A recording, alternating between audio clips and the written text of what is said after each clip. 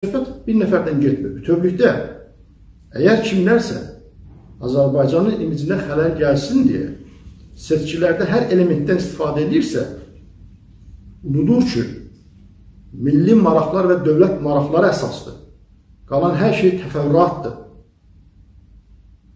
Biz bilirik ki, bəzi e, xarici dövlətlərin və beynəlxalq qurumların bu dəqiqə oturub gözləyirlər ki, müəyyən məsələlərlə bağlı olaraq əllərinə tutarqa verilsin ki, Azərbaycana qarşı hazır bəyanatlarını, bəli, çoxdan hazırladıqları bəyanatları artıq ifadə eləsinlər və ölkədə seçkilərə kölgə salmağa çalışsınlar. Ölkədə qeyri-demokratik yolla hakimiyyətə gəlmək istəyən qüvvələri qızışdırsınlar və s. belə şeylər görünübdür. Biz ATƏT-in nümayəndələri ilə parlament partiyaları nümayəndələri görüşəndə də mən onlara sual verdim. Dedim, siz mütəmadi olaraq o məsələni qoyursunuz ki, Azərbaycanda söz azadlığı ilə bağlı olaraq niyə müxtəlif yerlərdə mitinglərin keçirilməsinə bağlı olaraq metro yaxınlığında falan bunlarla bağlı münasibət nə yerlər? Niyə tələb edirsiniz ki, mütləq həmin yerlərdə olsun?